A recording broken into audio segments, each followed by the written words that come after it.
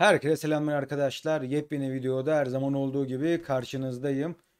Bugün sizlerle Trabzonspor'un Altay maçını nerede oynayacağı hakkında konuşacağız. Bunun hakkında fikirlerimi paylaşacağım. Ve bir önceki videoda sorduğunuz soruları arkadaşlar cevaplayacağım. Ee, olabildiğince de tüm soruları cevaplamaya da çalışacağım arkadaşlar. Yani videonun altına sorularınızı yazın. Her videoya yazın. Ben arada yani konusuz kaldığımda oradaki sorular üzerinden gideyim. Video başlığını öyle atayım arkadaşlar. Şimdi biliyorsunuz Antalya maçında tüm tribün indi aşağı yani stadyuma indi, sahaya indi. Ee, bir takım sıkıntılar oldu sahada ve e, Trabzonspor'un Altay maçını yani son içerideki son lig maçını nerede oynayacağı bir soru işareti oldu. Ee, buna noktayı arkadaşlar Trabzonspor Kulübü noktayı koydu. Yapılan açıklamada arkadaşlar aynen okuyorum Trabzonspor'un Twitter sayfasından e, ve resmi web sitesinden Süper Lig'in 37. haftasındaki Altay maçının 14 Mayıs Cumartesi Şanlıurfa'da oynanması Süper Lig şampiyonluğu kupa törenimizin ise 15 Mayıs Pazar Trabzon'da yapılması için TFF'ye resmi başvurumuzu gerçekleştirmiş bulunmaktayız. Şimdi ben yorumumu söyleyeyim. Bu ama benceli bir yorum arkadaşlar. Kulübün yaptığında anlıyorum bu arada. Mantıksız değil. Onu söyleyeyim yani her zaman tek doğru yoktur arkadaşlar. Ya kulübün yaptığı yanlış değil. Ama bence çok doğru da değil. Şimdi ben kombine sahibiyim. Ben kombine sahibiyim. Şimdi ben Urfa'ya nasıl gideyim? Urfa'ya nasıl gideyim? Yani bir de benim tribünüm ceza almadı. Garip bir şekilde benim tribün ceza almadı. Ee, öyle bir şey var ve buradan benim Trabzon'a gidecek aynı zamanda hem akrabaları görecek hem de yani maça gidecek çok tanıdığım vardı. Kadın bireyler vardı. Kız arkadaşlarımız vardı. Kadın akrabalarımız vardı. Artık Trabzon bir marka şehir oldu. Herkes merak ediyor. Yal, yalanım yok. Gerçekten bir dünya kız arkadaşım. Bir dünya kız arkadaşım bizi Trabzon'a götür diye bana yazdı. Gerçekten ya Trabzon'da böyle bir marka şehir oldu. Herkes club falan zannediyor. Size şöyle bir şey anlatayım. Herkes club sanıyor. Eğlendik şampiyonluk gecesi. Sonrasında arkadaşlarla buluşalım dedik. Eğlenelim diye. Dört kişiyiz.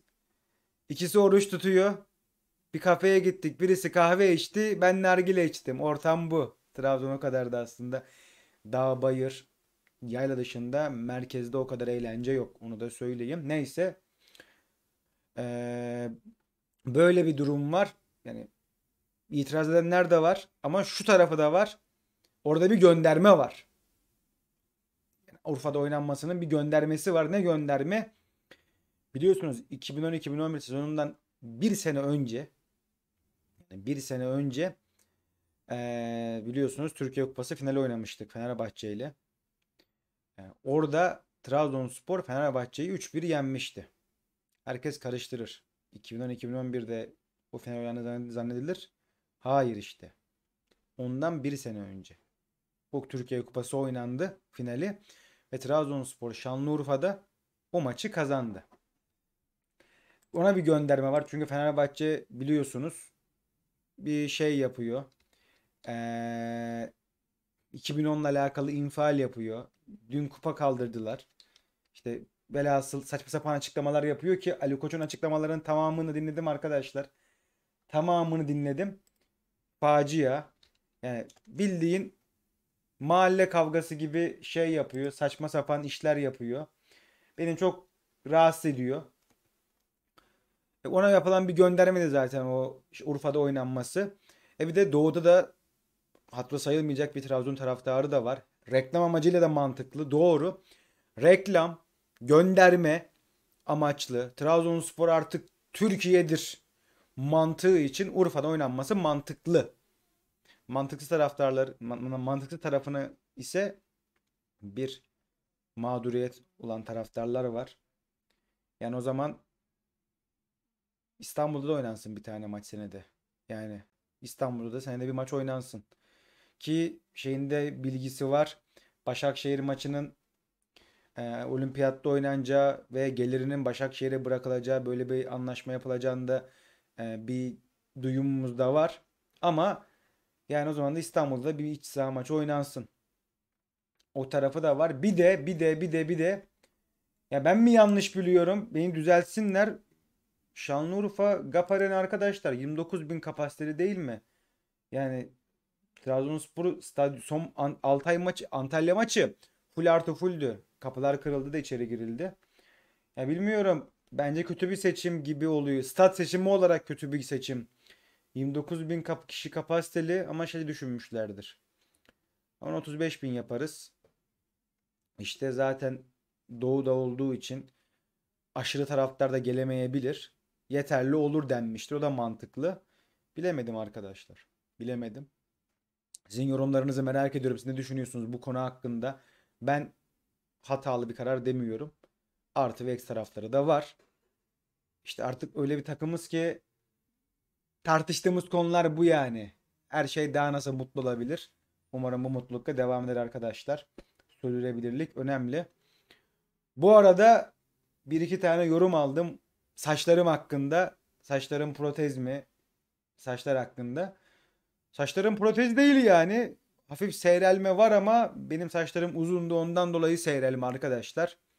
Bilmiyorum saçlarım nasıl yorumlayın. Ben bu ara saçlarımı çok beğeniyorum. Çok yazıyorsunuz. Abi protez mi saçlar bilmem mi diye. Ne bileyim proteze benziyor mu?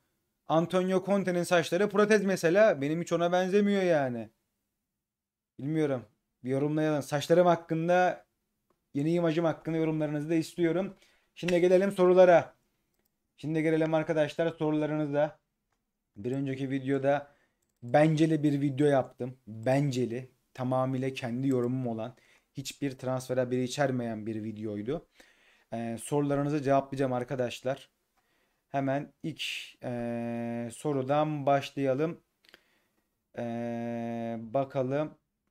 Soruda bir de itirazlar var. Onları da cevaplayacağım. Mesela Yaşar Kaplan'ın soruları var. Kendisi özel olarak rica etti arkadaşlar.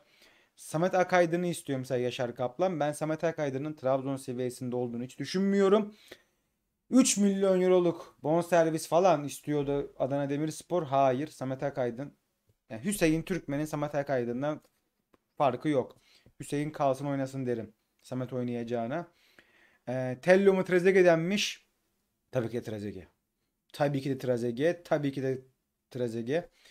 Oğuzhan yeni Yunus olur yazmışlar. Buna katılmıyorum ama %100 de karşı çıkamıyorum. Fakat Oğuzhan bilmiyorum ya ben Yunus'tan daha sıcakkanlıyım. Ee, Mehmet Aslan yazmış 10 milyon euro Canini'ye kimse vermez. Baksadasa 5 milyon biri versin. Trabzonspor'a piyango vurdu sararım. Hafif katılıyorum hafif katılmıyorum. Canini 10 etmeyebilir doğru ama 7-8 edebilir. Bakasetas'ta 5 edecek bir futbolcu değil ama değerinin çok düştüğünün ben de farkındayım. 7-8 o da edebileceğini düşünüyorum. Artık bu pazarlama yapacaksın. Şampiyon takımsın. Bu kadar skor katkısı vermiş bir oyuncu.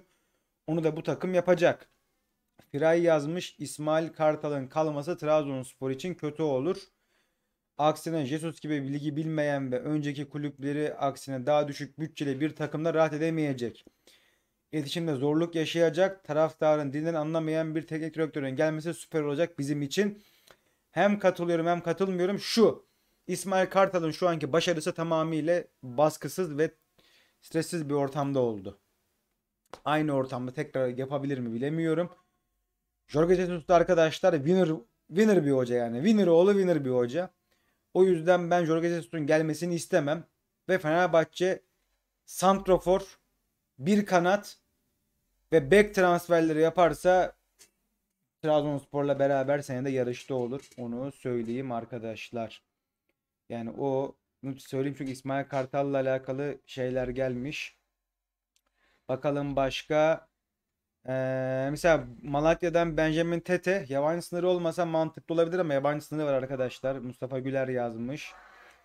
Ee, sol bek değil kiralık kaleci olmalı. Soldan sürekli gol yedik. Ama işte o zaman da mesela Perez'i aldık sakatlandı. E, bir de ara ara düşen performansı da vardı. Yani bir de iyi sol bekte para. Şimdi parayı oraya mı gömelim, 6 numaraya mı gömelim? O mantıkla söylüyorum. Yani o mantıkla söylüyorum. Ee, Yunus Emre'nin çok güzel bir yorumu var. Onu sizlere okumak istiyorum. Değil maliyetli oyuncular getirmek, elimizdeki çöplükten kurtulmak lazım. Koyita, Yunus başta olmak üzere Perez bile 2 artı milyon olacak katkıyı sağlaması mümkün değil. Katılıyorum. Kendini Şampiyonlar Ligi arenasında gösterecek ve sonraki satışını gerçekleştirecek nitelikte oyuncular bulunması lazım. Eline gibi oyuncular alınacaksa 1,5 milyon yüzleri hiçbir rakam artık kabul edilmemeli. Buna en az performans primleri eklenebilir. En fazla performans primleri eklenebilir. Şu saçma imza parasından kurtulmak lazım. Çözüm olarak buldular ama artık her oyuncuda uygulamak saçmalıktır. Piyasa ve maaş değeri ölçmekte çok kötüyüz. Gönderemeyecek şekilde adam transfer ediyoruz. Ve bunlar pazarlık yapılmış hali aklım almıyor gerçekten. Tekrar söylüyorum. Tony'den sonraki bütün sözleşmeler rezalet. Şişirilmiş paralar. Pazarlık konusunda rezaletiz. Yere katılıyorum yere katılmıyorum. Bir oyuncular Trabzon'a çok gelmek istemiyorlar. İki yine kulüp, diğer kulüplere göre bizim maaş durumumuz onlara göre iyi. Ama katıldığım yerlerde var arkadaşlar. Onu tekrardan et, ekleyeyim. Ee, Yaşar Kaplan Onyekuru'yu ee, Onyekuru'yu istemiş. Katılıyor bana. Onu da söyleyeyim. Bakalım başka yorum var mı? Heh, Witzel ismi de geçiyor. Witzel ismi de geçiyor. Onun hakkında tam bir bilgim yok.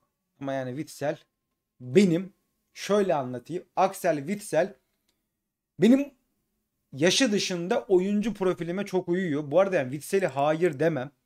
Gelebiliyorsa gelsin. Onu da söyleyeyim. Niye? 10 bile oynar. Stoper bile oynar. Öyle bir oyuncu Axel Witsel yakından tanıyanlar bilir. Onun hakkında da video yapacağım Axel Witsel hakkında merak etmeyin. Ee, Axel Witsel sözleşmesi bitiyor. Trabzonspor'a gelebilir. Stoper bile oynayabiliyor. Bunu anlatacağım size. Axel Witsel yazmış Kerem. Enline ve Axel Witsel, Onyekuru ve Trezeguet alalım. Koyase ve Kayeme yerine yazmış. Mantıksız değil. E, Dobyuk demiş. Dobyuk zor. Bonservis için Dobyuk zor arkadaşlar. Fatih Sultan Yılmaz yazmış. Spor Dijital'den niye ayrıldın? Bunun hakkında çok konuştuk arkadaşlar. Ben ayrılmak istemedim. Öyle anlatayım. Ben ayrılmak istemedim. Programı da ondan sonra hiç izlemedim zaten. Ama hak ettiğimiz yerlere geleceğiz. Ee, Gobromut'un Gobromut'un yorumu var. Artık öyle mi okunuyor bilmiyorum. Yani çok güzel bir yorumu var. Ee, Günay Güvenç ismini öne çıkartmış. Mantıksız değil. Ee, Elneni gibi bir isim olabilir yazmış. Densel'in tutulması gerektiği uzun bir yorumu var. O yüzden kısaltarak şey yapıyorum. Cornelius bölümüne katılmıyorum. Cornelius'u teklife gönderip yerine kendi başına pozisyon yaratabilen ve adam eksiltebilen maksimum 1.82 hareketli bir santrfor alınabilir yazmış. Ben buna katılmıyorum işte. Bu ligde çok işleyebileceğini düşünmüyorum. Yani Samat'ta örneğini verebilirim. Deniz Kazan'ın yorumu var. Çok beğenmiş son videomuzu. Teşekkür ediyoruz. Uğurcan Kalmalı. Baka Abdüş gidebilir yazmış. Yerli sınırından dolayı Abdüş'ün yerini nasıl doldurabiliriz? Var yani doldurabilecek oyuncu var. Yeri dolduramayacak tek oyuncu Uğurcan. Jenini vazgeçilmez yazmış. Yani çok ben bir ara et mi balık mı diyordum. Bazen et bazen balık. Ama yaş da var. İyi para geliyorsa ben hayır demem. Dobyuk da zor. Dobyuk için daha yazmayın. Dobyuk zor arkadaşlar. Ee, onu şey yapayım. Sezer Kırcı sıkı takipçimiz. Yorumlarına katılıyorum. Şampiyonlar Ligi için transfer yapmayın yazmış. Katılıyorum. Evet genellikle yorumlar böyle. Sorularınızı bekliyorum arkadaşlar. Görüşmek üzere.